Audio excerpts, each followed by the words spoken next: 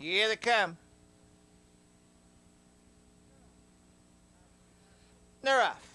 Out sharply for the early lead between horses Stormy Wind Ray. You own a bank came away well on the outside. Blues for Allah.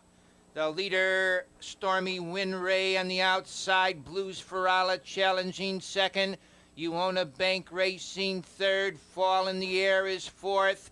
Racing in fifth position of the quarter, living together in sixth as they move to the backside.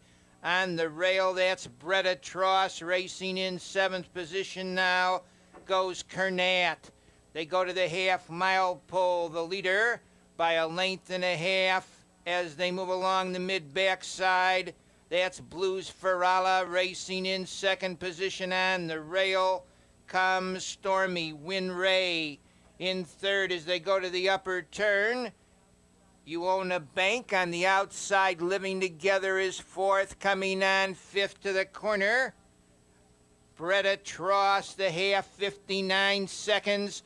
Up on the outside, living together is challenging.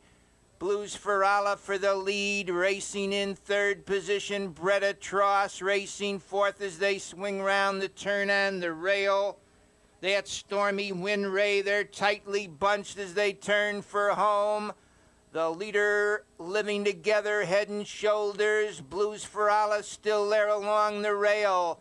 That's Blues for Allah, the leader, racing in second as they drive through the lane now on the outside.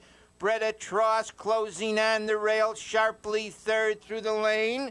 Comes Stormy Wind Ray. Bretatross gets that lead. It's Bretatross, the leader, it's going to be tight for second. Tross wins it in second, fall in the air. Stormy Wind Ray third.